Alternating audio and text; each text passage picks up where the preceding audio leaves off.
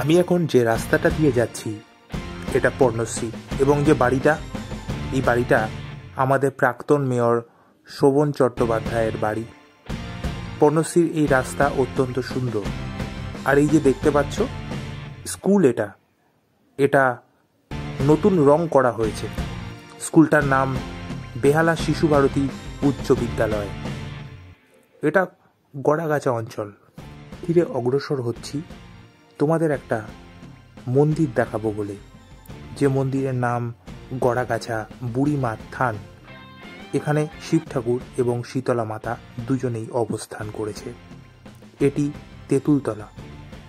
Corona virus আস্তে আস্তে কমতে শুরু করেছে এবং মন্দির, মসজিদ, স্কুল, কলেজ ধীরে ধীরে খুলবে।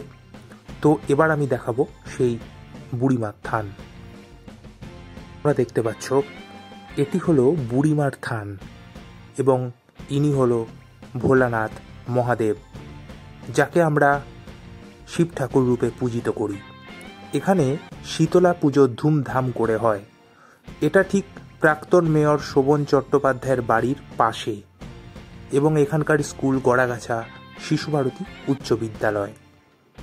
এখানে বটি ঝাপ থেকে শুরু করে বিভিন্ন ধরনের ঠাকুরের নাম, কীর্তন ইত্যাদি এগুলো ঘটে। এবং প্রত্যহ এখানে শিব ঠাকুর, দেবাদিদেব মহাদেব পূজিত হন। আর দেবাদিদেব মহাদেবের পাশেই রয়েছেন মা শীতলা। শীতলা মা, যাকে আমরা বলি বুড়ি মা, কারণ তিনি আদি শক্তির অংশ।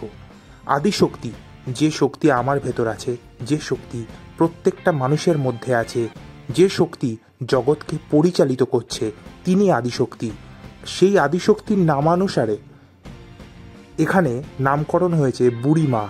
শীতলা মাতাকে আমরা বুড়ি মা বলি। মা শীতলার কাছে এবং ভোলানাথ দেবাদিদেব মহাদেবের কাছে আমার প্রার্থনা থাকবে যে তিনি যেন প্রত্যেকটা মানুষকে সুস্থ, সতেজ রাখে এবং করোনা ভাইরাস থেকে বিশ্ব সংসারকে মুক্ত করে।